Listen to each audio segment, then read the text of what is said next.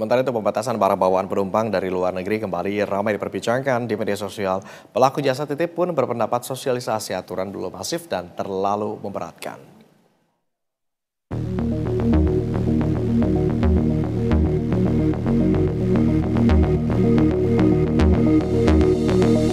Peraturan Menteri Perdagangan Nomor 36 Tahun 2023 mengatur tentang kebijakan dan pengaturan impor sejak 10 Maret lalu.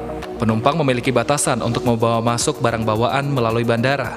Barang bawaan penumpang yang dibatasi jumlah muatannya yakni alat elektronik, alas kaki, barang tekstil, tas, dan sepatu.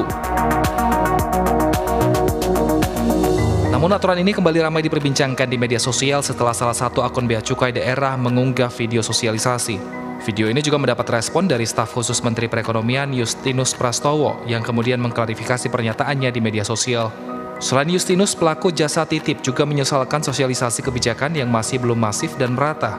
Selain itu, kebijakan yang mengatur barang bawaan hingga barang-barang pribadi dinilai memberatkan kalau emang dalam uh, apa skala yang masih kecil gitu menurut aku itu masih dalam ambang batas wajar ya. Cuma kalau misalkan uh, kayak dilimitasinya itu dalam jumlah yang kecil kayak bawa sepatu aja bawa harus uh, dua biji gitu. Terus uh, apa namanya uh, kalau misalnya lebih dari itu harus diperiksa gitu. Padahal kan itu masih dalam ranah yang pribadi. Mungkin aja dia just tip dalam rangka emang buat teman-temannya aja gitu kan. Karena memang just tipers itu nggak nggak semuanya yang dibilang just tipers tuh emang memberi apa ya min, uh, ambil keuntungan yang gede juga gitu kan kadang kita juga kan uh, ambilnya dari keuntungan bagasi itu pun nggak seberapa gitu. Kalau misalnya overload kita juga yang uh, apa namanya menanggung biaya tersebut kayak Mulai 10 Maret lalu, kantor Bea Cukai menerapkan aturan baru mengenai pembatasan barang bawaan.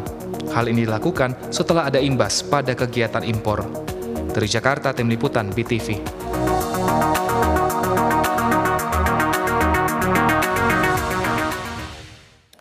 Ya, peraturan Menteri Perdagangan nomor 36 tahun 2023 mengatur tentang kebijakan dan pengaturan impor. Ada lima barang bawaan yang dibatasi pemerintah.